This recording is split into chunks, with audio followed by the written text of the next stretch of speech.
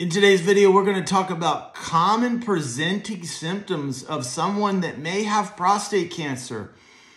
Um, and you know, most prostate cancers are found early on. They're found with PSA screening. So blood test finds it in 80% of patients. And 20% of prostate cancers are found on digital rectal exam. But oftentimes symptoms um, with regards to your urination can also be something that, that allows you to start looking into what is causing some of these symptoms. And sometimes prostate cancer is found. Now, in late stage prostate cancer, there can be urinary frequency, urinary urgency. There can be obstructive issues like decreased urinary stream, incomplete bladder emptying, double voiding, or straining to urinate. Those are common. Um, getting up at night, you know, if you're getting up at night, no doubt you'll want to see your urologist and probably be screened for the presence of prostate cancer. Now, another one is blood in the ejaculate.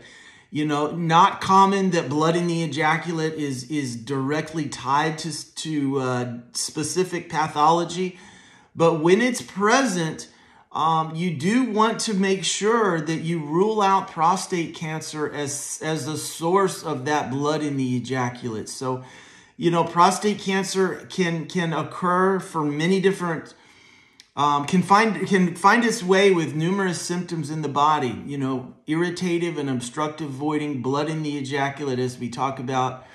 Um, but oftentimes it's picked up on screening PSA and digital rectal exam. Um, so, hey, see your doctors. It's important. Hey, early detection is the key.